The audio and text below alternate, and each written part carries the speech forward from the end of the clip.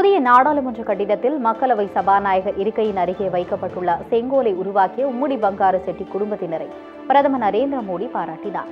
உம்முடி பங்காரு செட்டி குடும்பத்தின் முக்கிய உறுப்பினரான உம்முடி அனில்குமார் பிரதமரின் இல்லத்தில் நடைபெற்ற சுதந்திரத்தின் சின்னமான செங்கோலை மையமாக கொண்ட பெருமைக்குரிய விழாவில் கலந்து கொண்டு மிகுந்த மகிழ்ச்சியுடனும் மரியாதையுடனும் திரும்பியுள்ளார். இந்த விழா செங்கோலின் வரலாற்று முக்கியத்துவத்தை அங்கீகரிப்பது மட்டுமல்லாமல் இந்தியாவின் எதிர்காலத்தை வடிவமைப்பதில் அதன் மதிப்பையும் வலியுறுத்துகிறது என்று தெரிவித்தார். மேலும் செங்கோலின் பாரம்பரியம் தொடங்கிய இடத்தை பாதுகாத்து கௌரவிப்பதில் தானும் தன் குடும்பத்தினரும் பெரும் மகிழ்ச்சி அடைவதாக தெரிவித்துள்ளார். இந்த செய்தியாளர் சந்திப்பில் அனில்குமார் உம்முடியின் மனைவி உம்முடி அபர்ணா லட்சுமி மகன்கள் அனிருத்தா உம்முடி உள்ளிட்டோர் உடனிருந்தனர்.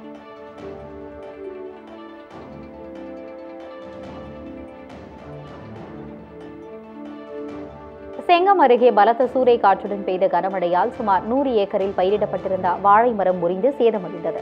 திருவண்ணாமலை மாவட்டம் கொட்டாவூர் குப்பநத்தம் கல்லாத்தூர் உள்ளிட்ட பல பகுதிகளில் வாழை விவசாயம் செய்யப்பட்டு வருகிறது. இந்நிலையில் வாழைகள் அறுவடைக்கு தயாராக இருந்த நிலையில் சூறை காற்றுடன் பெய்த மழையால் நூறு ஏக்கரில் பயிரிடப்பட்டிருந்த வாழை மரங்கள் முறிந்து சேதமடைந்தது. இதனால் வேதனை அடைந்துள்ள விவசாயிகள் சேதமடைந்த வாழை மரங்களை சம்பந்தப்பட்ட அதிகாரிகள் ஆய்வு செய்து உரிய இழப்பீடு வழங்க வேண்டும் என்று விவசாயிகள் கோரிக்கை விடுத்துள்ளனர்.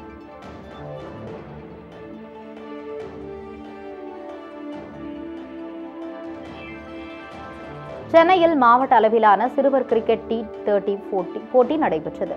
மாஸ்டர் கிரிக்கெட் கிளப் நிறுவனர் சம்சுதீன் ஏற்பாட்டில் ஸ்டாக் கிரிக்கெட் மைதானத்தில் சிறுவர்களுக்கான கிரிக்கெட் போட்டி நடைபெற்றது. இந்த போட்டியில் பல்வேறு பகுதிகளிலிருந்து ஆறு கிரிக்கெட் அணியினர் கலந்து கொண்டனர். இதையடுத்து மாஸ் கிரிக்கெட் அகாடமி மற்றும் ஸ்டாபுட் கிரிக்கெட் ஃபவுண்டேஷன் ஆகிய இரு அணிகளும் இறுதி சுற்றுக்கு மோதிக்கொண்டன இதில் ஸ்டம்புட் கிரிக்கெட் பவுண்டேஷன் அணியினர் நான்கு விக்கெட்டுகள் வித்தியாசத்தில் வெற்றி பெற்றனர் இறுதியாக வெற்றி பெற்ற அணிக்கு கோப்பை மற்றும் பதக்கங்கள் பாராட்டு சான்றிதழ் வழங்கப்பட்டன. இந்நிகழ்ச்சியில் கிரிக்கெட் ஆர்வலர்கள் பயிற்சியாளர்கள் மற்றும் முக்கிய பிரமுகர்கள் கலந்து கொண்டனர்.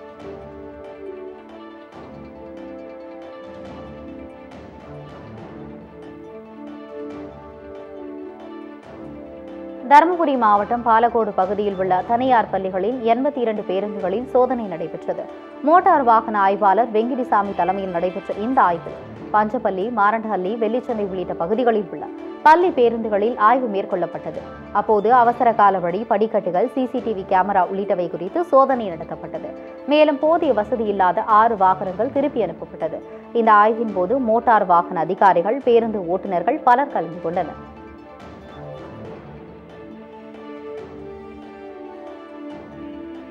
கோவையில் ஆறாவது தேசிய அளவிலான வளரி கலை குறித்த பயிற்சி முகாம் நடைபெற்றது. இந்தியா வளரி ஸ்போர்ட்ஸ் அசோசியேஷன் சார்பில் நடைபெற்ற இம்முகாமில் தமிழகம் மற்றும் பிற மாநிலங்களைச் சேர்ந்த வளரி கலை விளையாட்டு பயிற்சியாளர்கள் மற்றும் நடுவர்கள் பங்கேற்றனர். அப்போது வளரி விளையாட்டில் கடைபிடிக்க வேண்டிய விதிமுறைகள் மற்றும் பயிற்சிகள் வழங்கப்பட்டது. பின்னர் இதுகுறித்து பேசிய கூட்டமைப்பு நிர்வாகிகள் தமிழக அரசு மற்றும் பொதுத்துறை நிறுவன பணியிடங்களில் சிறந்த விளையாட்டு வீரர்களுக்கான மூன்று சதவீத இடஒதுக்கீட்டில் வளரி கலையையும் இணைக்க வேண்டுமென கோரிக்கை விடுத்தனர்.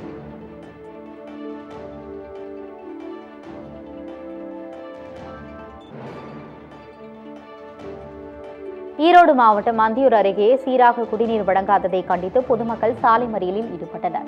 அந்தியூர் காலனி பகுதியில் குடிநீர் வழங்க பயன்படுத்தி வந்த உயர்நிலை நீர்த்தேக்க தொட்டி பழுதடைந்ததால் அதனை இடித்து ஊராட்சி நிர்வாகம் அப்புறப்படுத்தினர்.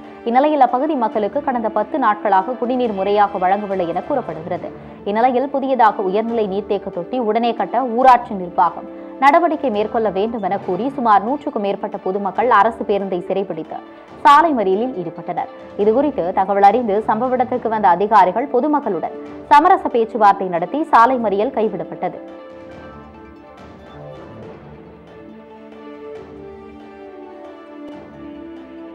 தஞ்சை மாவட்டம் கும்பகோணம் வட்டம் இஞ்சுகொலை ஊராட்சியில் வீசிய சூறாவளி காற்றுக்கு மின் கம்பங்கள் மற்றும் மரங்கள் முறிந்து விழுந்ததால் வீடுகள் வாகனங்கள் உள்ளிட்டவை சேதமடைந்தன. இஞ்சிகொலை மற்றும் நாலூர் கிராமத்தில் பலமான சூறாவளி காற்றுடன் மழை பெய்தது. இந்த சூறாவளி காற்றால் இரண்டு பெரிய இலுப்பை மரங்கள் முறிந்து விழுந்ததில் வாகனங்கள் சேதமடைந்தது.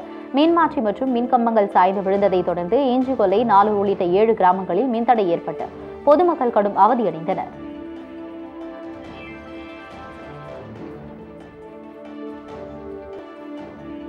எரிபொருள் சிக்கனத்தை வலியுறுத்தி தூத்துக்குடி மாவட்டம் கோவில்பட்டியில் விழிப்புணர்வு நடைப்பயணம் நடைபெற்றது.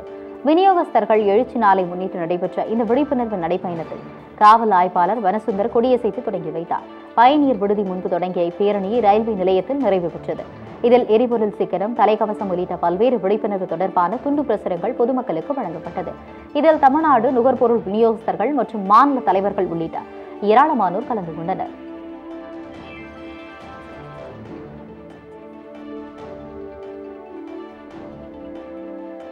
வேலூர் மாவட்டம் கேவிக்குப்பம் அருகில் உள்ள கங்கை அம்மன் சிரசு திருவிழா வெகு விமரிசையாக நடைபெற்றது.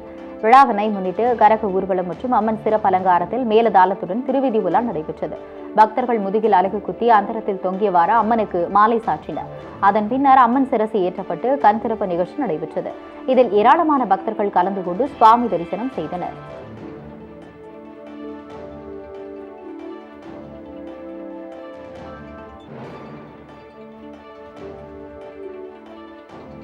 மயிலாடுதுறை மாவட்டம் சித்தர்காடு அருகே ஆதரவற்ற மாற்றுத்திறனாளிகளுக்கு சமூக வலைதளம் மூலம் ஒரு லட்சம் ரூபாய் நிதி உதவி செய்தார் சம்பவம் நெகிழ்ச்சி ஏற்படுத்தியுள்ளது. இந்திரா நகர் பகுதியைச் சேர்ந்த மாற்றுத்திறனாளியான் ஆறுமுகம் என்பவர் ஆதரவற்ற நிலையில் இருந்துள்ளார். இவரின் சிரமத்தை பார்த்த அறக்கட்டளை உரிமையாளர் சமூக வலைதளங்களில் வீடியோவாக பதிவிட்டுள்ளார். இந்நிலையில் வீடியோவை பார்த்த சேலத்தை சேர்ந்த பாலசுப்ரமணியம் என்பவர் ஒரு லட்சம் ரூபாய் நிதி உதவி செய்துள்ளார். இச்சம்பவம் அப்பகுதி மக்களிடையே நிகழ்ச்சி ஏற்படுத்தியுள்ளது.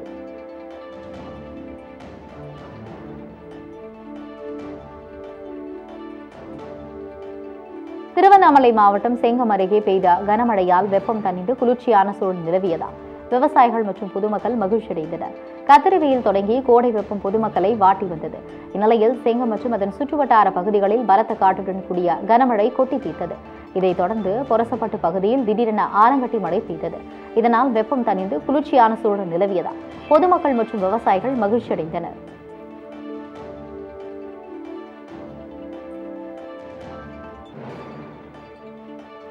ஈரோட்டில் தமிழ்நாடு சத்துணவு ஊழியர் சங்கத்தினர் பத்தம்ச கோரிக்கைகளை வலியுறுத்தி ஆர்ப்பாட்டத்தில் ஈடுபட்டனர்.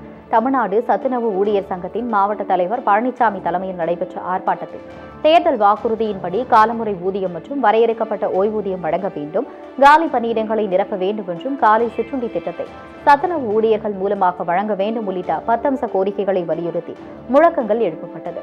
இந்த ஆர்ப்பாட்டத்தில் தமிழ்நாடு சத்துணவு ஊழியர்கள் சங்கத்தினர் ஏராளமானோர் கலந்து கொண்டனர்.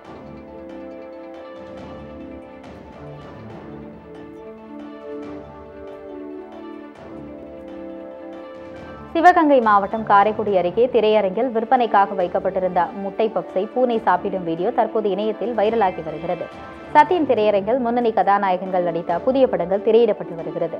இந்நிலையில் திரையரங்கில் விற்பனைக்காக வைக்கப்பட்டிருந்த முட்டை பப்ஸை பூனை ஒன்று சாப்பிட்டுக் கொண்டிருக்கும் வீடியோ. தற்பொழுது சமூக வலைதளங்களில் பரவி வருகிறது. இதைத் தொடர்ந்து உணவு பாதுகாப்பு மாவட்ட நியமன அலுவலர் பிரபாவதி தலைமையில் திரையரங்கத்தில் ஆய்வு செய்து உணவுப் பொருட்களை பறிமுதல் செய்தனர். மேலும் மறு அறிவிப்பு வரும் வரை திரையரங்கில் உணவுப் பொருள் விற்பனை செய்வதற்கு தடை விதிக்கப்பட்டுள்ளது.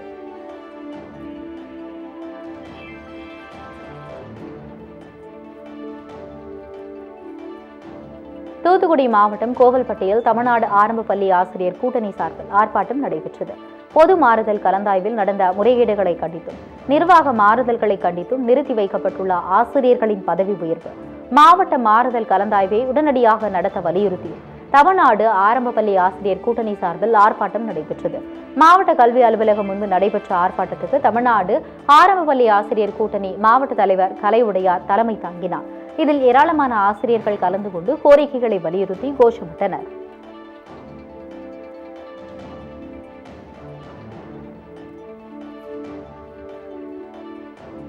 விழுப்புரம் மாவட்டம் திண்டிவனத்தில் ஏழு பவுன் தங்க நகை மற்றும் பணத்தை கொள்ளையடித்து சென்ற கொள்ளையர்களை காவல்துறையினர் தேடி வருகின்றனர்.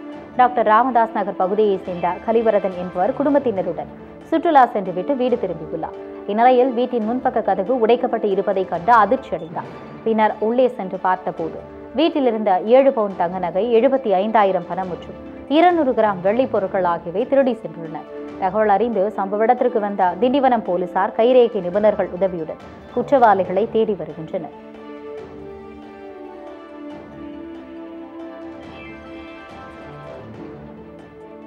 சேலம் மாவட்டம் தாரமங்கலம் அருகே அரசு மதுபான கடை அகற்ற வேண்டும் என பொதுமக்கள் கோரிக்கை விடுத்துள்ளனர். செலவடை கிராமத்தில் அரசு மதுபான கடை செயல்பட்டு வருகிறது.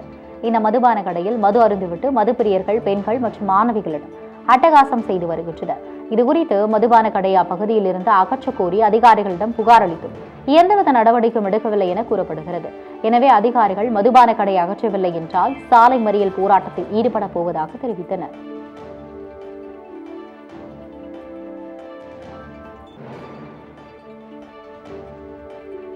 திருவள்ளூர் மாவட்டம் மேஞ்சூர் அருகே கத்தியால் நாயை வெட்டி கொலை செய்த மூவரை போலீசார் சிறையில் அடைத்தனர்.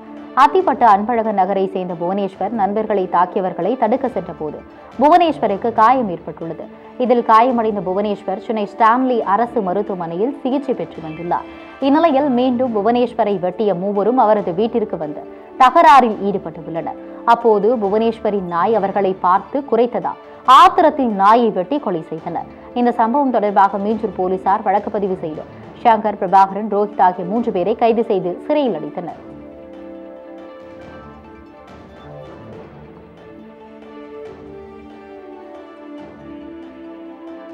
மயிலாடுதுறை மாவட்டம் தரங்கம்பாடியில் உள்ள ஸ்ரீமத் சீதால தேவி மாரியம்மன் கோவிலில் தீமிதி திருவிழா நடைபெற்றது. திருக்கலச்சேரியில் உள்ள பிரசித்தி பெற்ற ஸ்ரீமத் சீதால தேவி மாரியம்மன் கோவில் அமைந்துள்ளது. இந்நிலையில் வைகாசி மாதம் பிரம்மோற்சவ தீமிதி திருவிழா மற்றும் தேரோட்டம் சிறப்பாக நடைபெற்றது. இதையடுத்து பக்தர்கள் மஞ்சள் உடை உடுத்தியும் காவடி ஏந்தியும் ஊர்வலமாக வந்து தீமிதித்து தங்களது நேர்த்திக் கடனை செலுத்தினர். இதைத் தொடர்ந்து அம்மன் அலங்கரிக்கப்பட்ட தேரில் பக்தர்களுக்கு எழுந்தருளி காட்சியளித்தார். இதில் ஏராளமான பக்தர்கள் கலந்து கொண்டு தேரை வடம் பிடித்து இழுத்தனர். பின்னர் அம்மனுக்கு மாவிளக்கு போட்டு வழிபாடு நடைபெற்றது.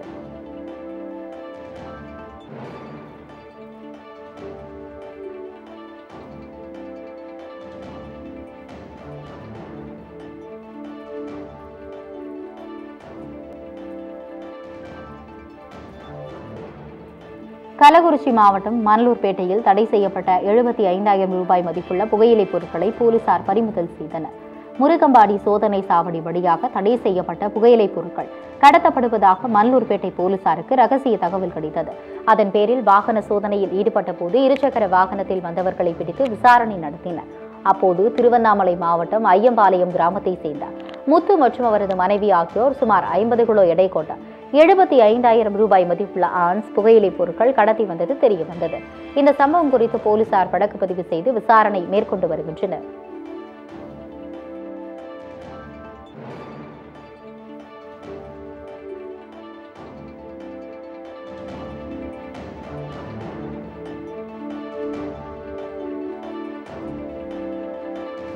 கள்ளக்குறிச்சி மாவட்டம் உளுந்தூர்பேட்டை அருகே குடிநீர் தட்டுப்பாட்டை சரி செய்ய மாவட்ட நிர்வாகத்திற்கு கிராம மக்கள் கோரிக்கை விடுத்தனர். காந்திநகர் பகுதியில் எண்ணூறுக்கும் மேற்பட்ட குடும்பங்கள் வசித்து வருகின்றன. இந்நிலையில் குடிநீர் குழாயில் உடைப்பு ஏற்பட்டதால் அருகில் உள்ள குட்டையில் நீர் வீணாக தேங்கி நிற்கிறது. இதனால் குடிநீர் தட்டுப்பாடு ஏற்பட்டுள்ளதாகும். மாவட்ட நிர்வாகம் நடவடிக்கை எடுக்க வேண்டும் என்றும் அப்பகுதி மக்கள் கோரிக்கை விடுத்துள்ளனர்.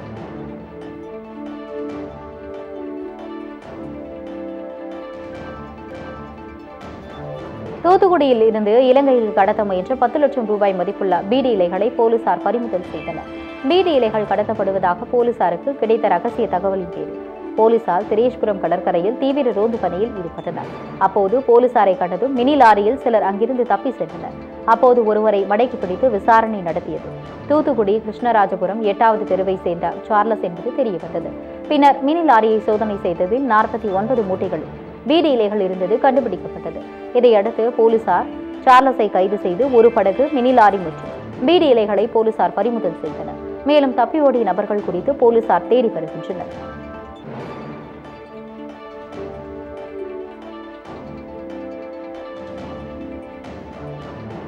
கன்னியாகுமரி மாவட்டம் மார்த்தாண்டம் அருகே நாகப்பாம்பை வனத்துறையினர் பத்திரமாக மீட்டு வனப்பகுதியில் விட்டனர். செம்மங்காலை பகுதியைச் சேர்ந்த பிரபின் முயல் ஒன்றை வளர்த்து வருகிறார்.